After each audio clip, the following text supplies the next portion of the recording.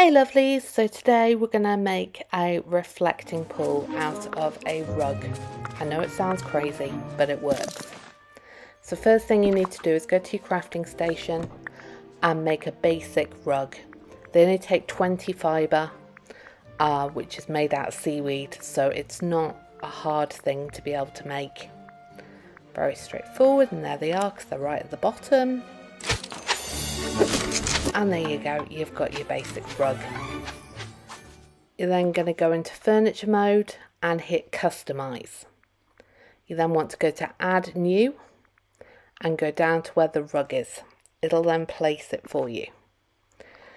This the top bit is all about motifs. We don't need that for this. So just go to material and then go down and you can see there's the blue ones there just select one of those and then make sure that your glossiness is full and metal is on. And that's it you've made it. You can then go into furniture mode and you can place it any way you want. Really easy and straightforward but looks really beautiful. Just run around show you how shiny it is. I love it I am not a great decorator, as you will see in a moment, because this is what I did with it. I just plugged it in the middle of these, but I do think it looks really pretty. So I hope this helps you all. I'm sure that you will decorate way better than me. Thanks for watching.